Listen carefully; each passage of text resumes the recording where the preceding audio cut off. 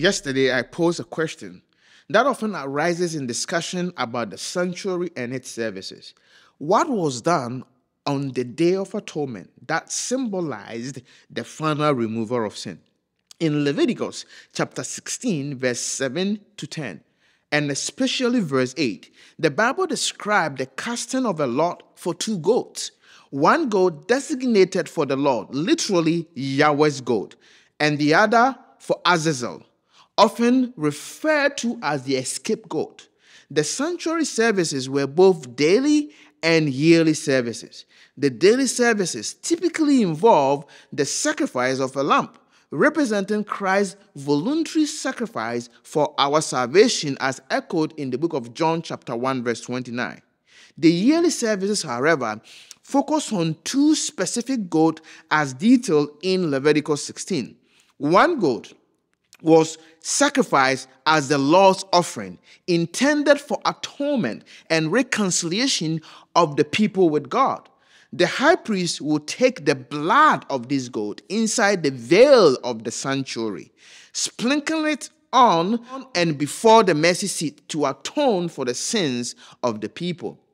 In contrast, the second goat, known as the Azazel, a scapegoat, was not sacrificed, nor was its blood shed.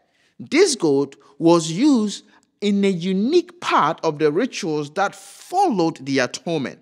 The high priest will place the sins of Israel upon this live goat, which was then sent away into the wilderness by a strong man. This act did not involve atonement through bloodshed, but it was a symbolic removal of sin from the community, taking them to uninhabited land. It is crucial to clarify a common misunderstanding by our non Adventist friend. The scapegoat does not atone for the sins of Israel. The only goat that provide atonement was the one sacrificed as the Lord's offering. The role of the scapegoat solely to symbolically bear the sins away into isolation. Adventists, among other biblical scholars, interpret the scapegoat as representing Satan, who is ultimately held accountable for his part in the presence of sin in our world.